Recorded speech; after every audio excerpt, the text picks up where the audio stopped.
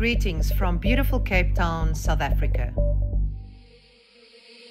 I am Suné Stassen, a designer, educator, impact entrepreneur, the founder and CEO of Open Design Afrika, and the country ambassador for the Tigullio Design District in Italy. I always look at our man made world through a design lens, with the human race at the helm as the chief designer. For generations, we have successfully engineered a destructive and unjust world for living in. In South Africa, design was actively used to segregate people during apartheid. With our World Design Capital 2014 tagline, Live Design, Transform Life, it was a great opportunity for the city of Cape Town to show how design is now being used as a catalyst to start transforming Cape Town into a more inclusive city.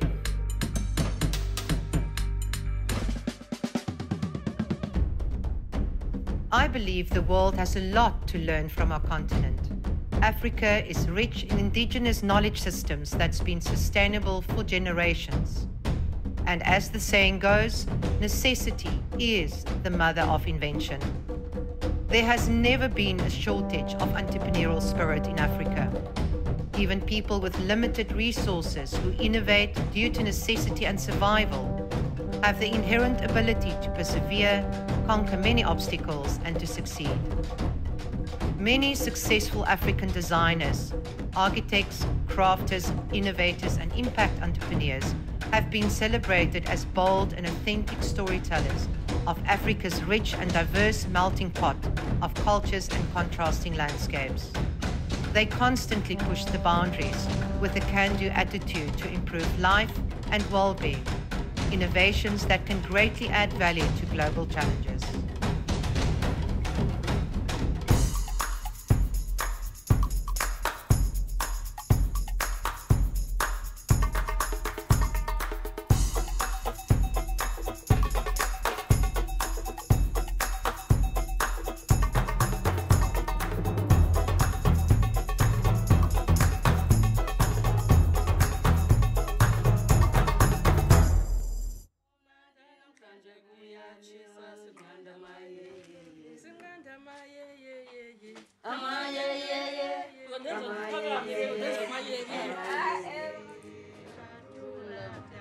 There's a lot of beauty and joy that comes from Africa and our time is now to show that and showcase that to the rest of the world.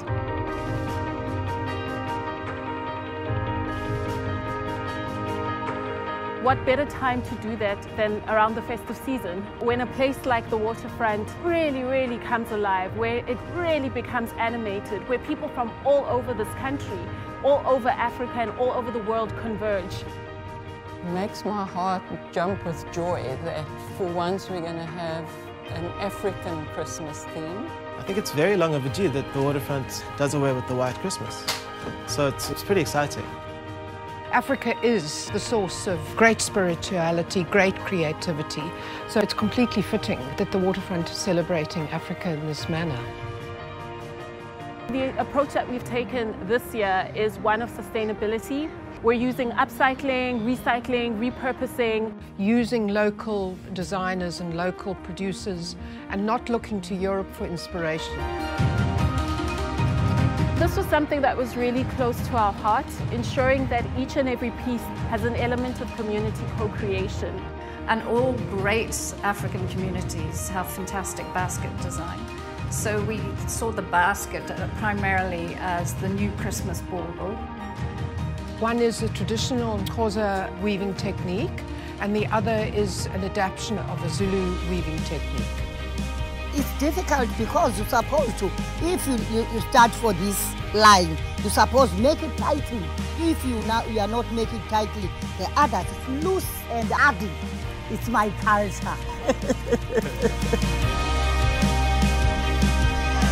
How it made, we started with this wireframe, then we take it uh, like a filler. We stuff so that it can come a shape. Then we take a cloth, we wrap it out, then we do the beadwork. The beadwork we're doing piece and piece and piece, then afterwards we're gonna join it. We're making about plus minus 50 artworks and we have like over 35 artists that are working on this because some of the artworks a two artists working on the one because they are huge. Some of the installations you'll see will be mythical creatures that are created from hand, literally from scratch, by the ladies at Monkeybiz. And there's a whole team and ecosystem of African and South African artists who are helping us bring this vision to life. We decided to create this beautiful African palace on a huge scale.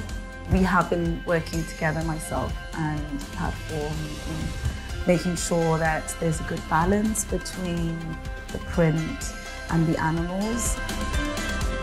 This is the paper that we put over. It's metal, but then we put paper around, and then we're going to cover. The other ones will be covered in stripes, and the other one will be covered in pineapples. We collect any types of plastic bottles. Take this one, eh, and then you cut it like something like this. Anything you can make out of plastic bottle. It's the first time we get the, the job like this one. It was big. We make more than 500 flowers and then we collect 1,000 bottles. Anything I see, I just come up with a design. I've got my son, I've got my niece, I've got my nephew. So it has created a lot of job for them. If I go to a waterfront, I see it's my work. The people come from England, come from Tanzania, come from everywhere. They see my work. This is African design. It shows that it was done by an African, and I'm proud of that. I like it, my job. Oh, I'm very, very happy. I'm so proud. And all of us at our workshop, we are proud. Wow, you know, walking there and saying, this is my work. If you tell them this is handmade, like, wow. The artists, actually, they're gonna just go feel proud of themselves to go with their families and to choose to say, this is my work.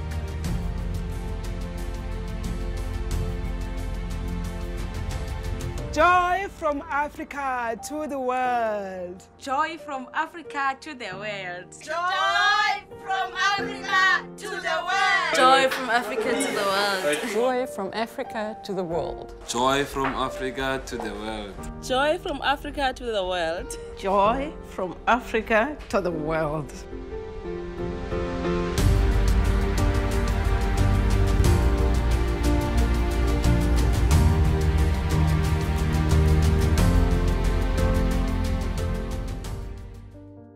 Blue Cape was established in 2019 as a special purpose vehicle that solely focuses on driving the development of a thriving future ocean economy in South Africa. Blue Cape links, connects, and facilitates training, jobs, and opportunities in the ocean economy. It sets out to inspire, support, and link like minded blue initiatives, addresses bottlenecks, and makes good waves to the benefit of businesses, environmentalists, and activists connected to the ocean. In collaboration with our founding partners, the City of Cape Town and the V&A Waterfront, Blue Cape also supports ocean sports, visiting super yachts and marine manufacturing. With a 2.2 billion rand boat building industry and internationally award-winning catamarans and designs, South Africa is the second largest producer of twin-hulled sailing and power yachts in the world.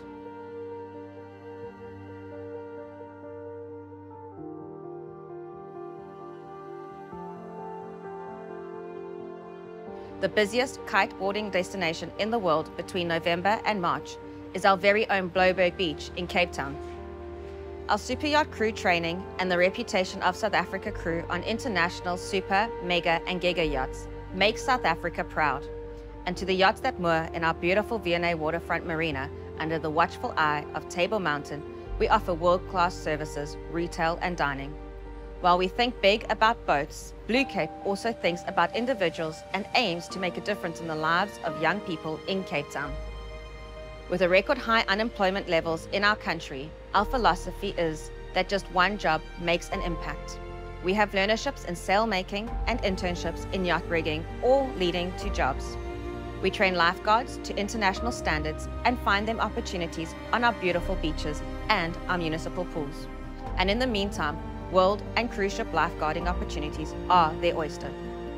Partnering with local youth interventions such as Waves for Change, Sail Africa, Royal Cape Yacht Sailing Academy, and Lawhill Maritime Centre, Blue Cape aims to create opportunities and career pathways into the ocean economy. Bringing ocean-minded youth to training programs and job opportunities is a core focus. Cape Town also looks after some of the world's best kelp forests. Soon to become a Marine World Heritage Site, our beaches and coastlines are famous throughout the world and offer marine adventure opportunities such as whale watching, snorkeling with seals, deep water spearfishing, kayak and surf ski touring, kiteboarding, windsurfing, SUP, sports fishing, scuba diving, and more. As we're located at the tip of Africa, Cape Town is also a popular stop for visiting super yachts who require vigorous service standards and seven-star service. With ocean sports, super yachting, and marine manufacturing contributing 4.2 billion rand in the local economy and employing over 6,700 people, the work of Blue Cape is key to unlocking potential and ensuring that real opportunities make a real difference in the lives of people and secure a thriving future for the rich ocean life along our coastlines. We are really excited about future prospects of the ocean economy and to develop a sustainable strategy that will align and drive the United Nations Sustainable Development Goals way into the future.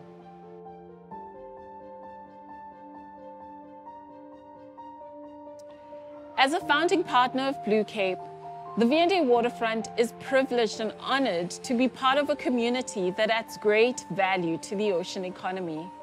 For one, our seawater cooling plant is pioneering and points to the future of desalination in this region.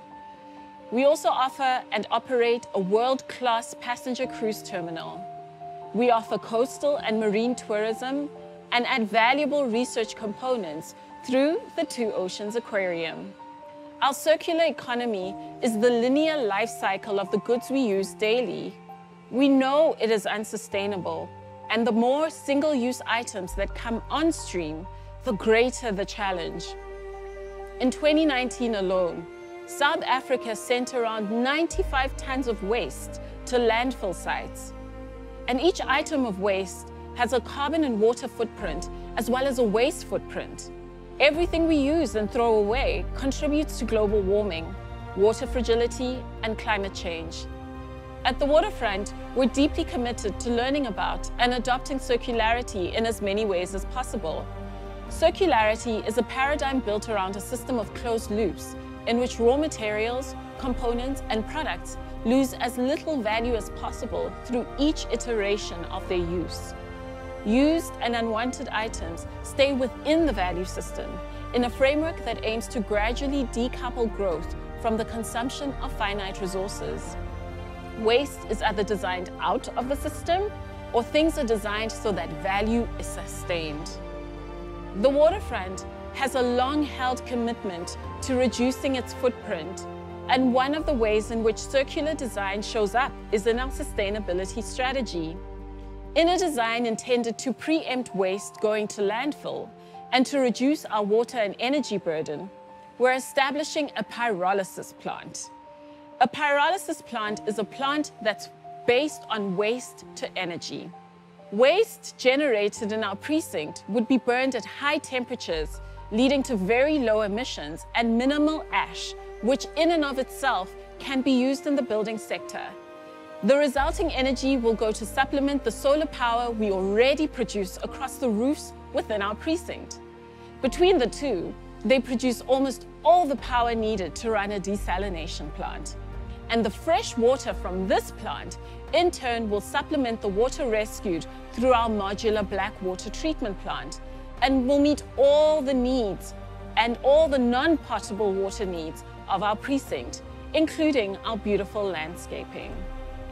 There are many other examples, and we're proud to have won global acclaim for our integration of eco-bricks into a large construction, one of which is the local headquarters of a global advisory firm.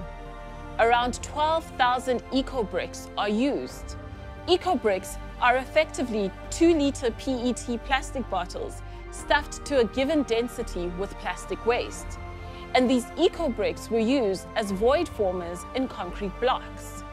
This takes waste out of the system the system, which includes the ocean, but more importantly, perhaps, reduces the use of concrete.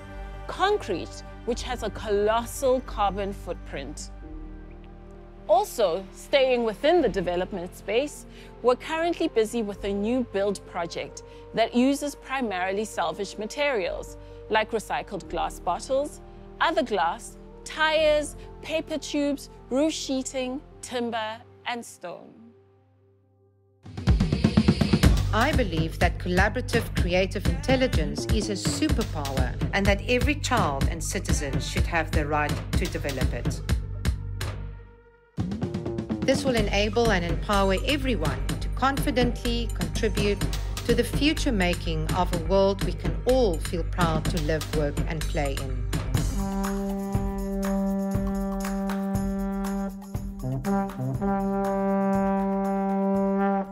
Open Design Afrika calls on all Africans and people from around the world to action small seeds of change. Everywhere! Because collectively, the impact will be massive. Today, we have the most important design brief to write in the history of mankind to secure a thriving future for humanity and the planet. Our African humanist philosophy of Ubuntu beautifully defines that I am, you are, because of who we all are.